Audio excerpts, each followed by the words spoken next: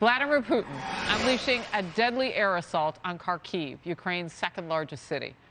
At least four people have died there after Russia hit the police and intelligence headquarters, and the city streets are filled with broken concrete, every kind of debris that you can imagine, even from inside those buildings because they're just blowing them to bits.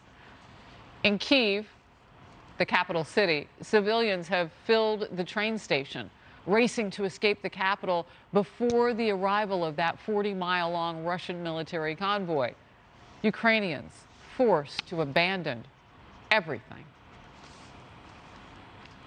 I'm feeling a lot of pain and pain, just pain, a lot of pain for my country and my people.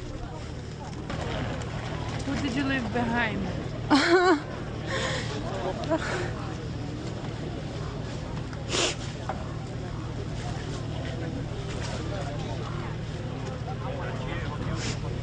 my husband, my home, my dog, my cats, my life.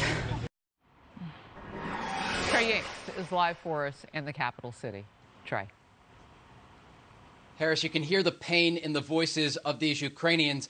Violence erupted again across the country overnight, with the Russians pushing not only from the south but also the northeast. They claim they've taken the city of Kherson in the south, and if this is true, it will be a significant territorial gain for Russian forces who will be able to bring in more soldiers through Crimea. We do know overnight in the second largest city of Kharkiv, there was heavy Russian shelling and strikes. This video shows the police headquarters there on fire after a Russian strike.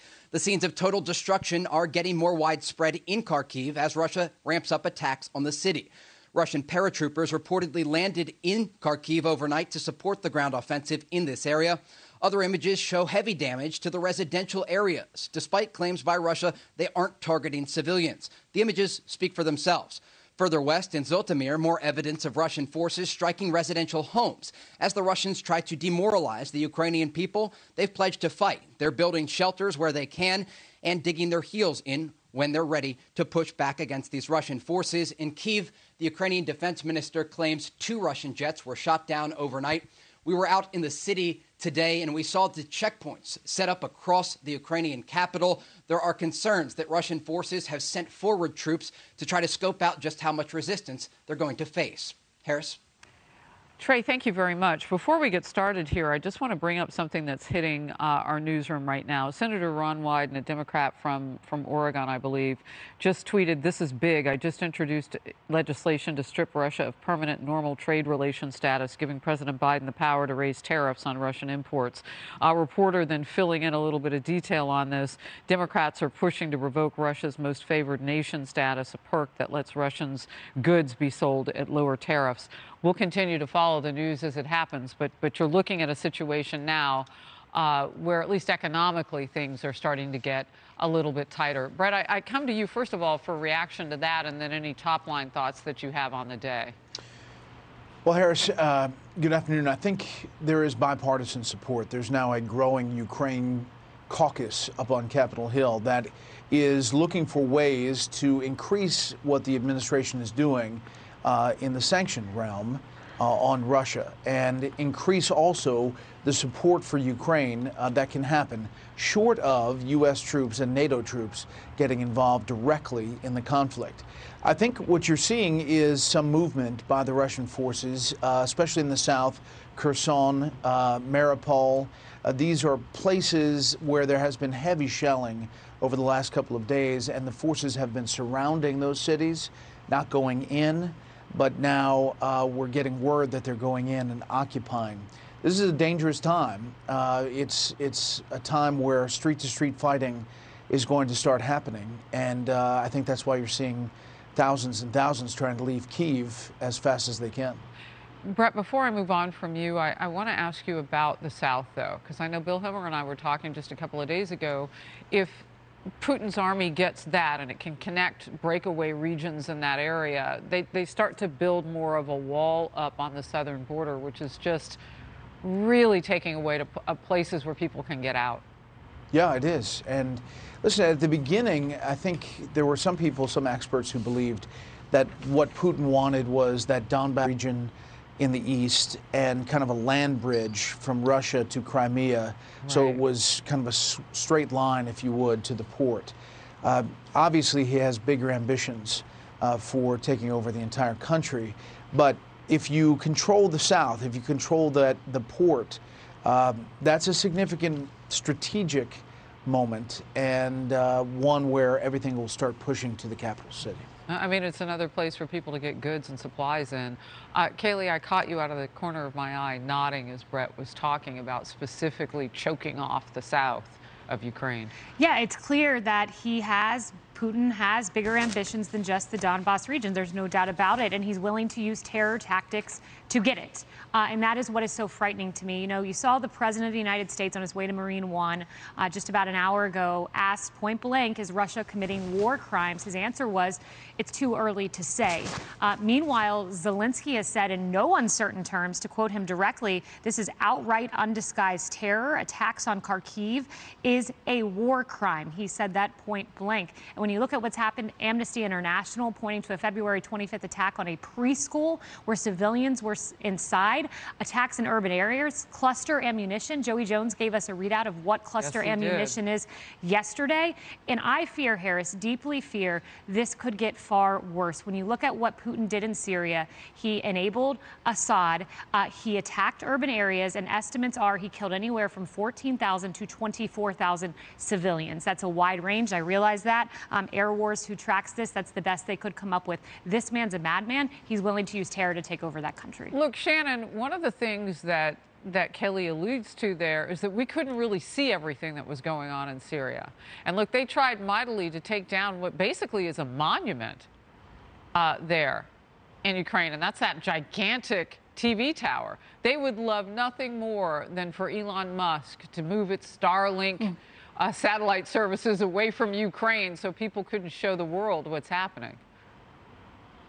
Yeah, and that's the interesting thing about warfare in 2022. One of the things is that we have social media, we have Skype, we have all been able to talk with members of parliament and people who are stuck there uh, in Ukraine in real time to talk about exactly what's going on, to get the real scoop from people who were there on the ground. I thought it was important that the president mentioned last night, what so many of us have been thinking, is that these are people who've known freedom and a stable society for 30 years plus years. I mean, these are people who've grown up in that, um, who they do seem stunned that this would actually happen in their civilized, developed cities. Um, this is a society that seemed pretty stable, and so they seem caught off guard and shocked by that.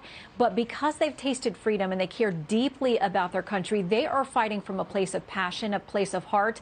That's why so many of them are refusing to leave. That's why these families are separating and these men are staying behind, and in many cases, women that we've talked to are staying behind Yes. as well. Um, they are then up against Russian conscripts and people who are forced into this service, many of them not understanding or uh, exactly what they were walking into or what they were going to be doing. And the more that the Russian army can be demoralized, the better it benefits the Ukrainian people because they are fighting from a place of preserving everything that they know and love and care about. They also have the support of the entire world, if not only spiritually, uh, you know, monetarily, food, supplies, so on and so forth, as long as we can get those things to them. Now, you know, the reports of Russian forces going near Emily, and that was something that was happening this hour yesterday. It did not happen overnight. But we do know that there is at least some thirst for those convoys to get to places where they can cut off supply lines. Hmm.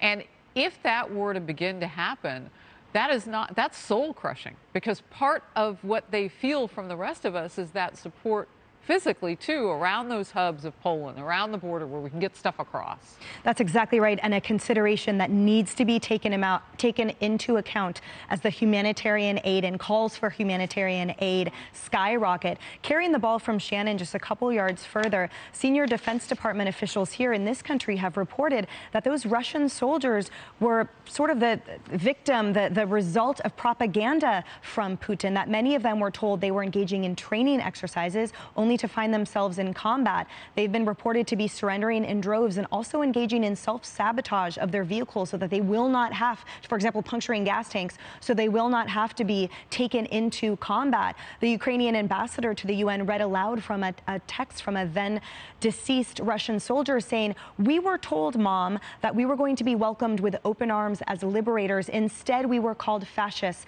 Mama, he wrote, This is so hard. And two quick points, if I may, to the, um, the, the UN condemnation and the sanctions. On the UN condemnation, recall that they have condemned Israel 45 times. In the year 2020, 17 times, three times as many as they have condemned other countries. And so it is absolutely right that they condemn Russia. And I hope we see the same amount of scrutiny from them on this as they have to our allies, Israel.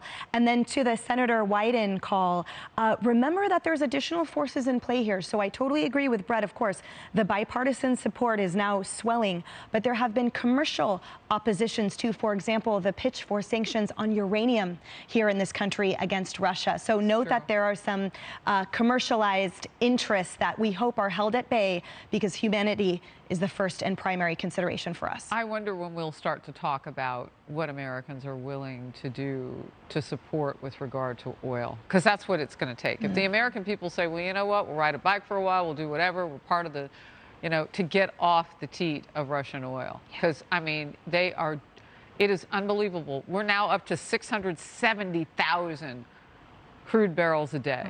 I mean, just think about the numbers on that above $100 a barrel a hmm. day.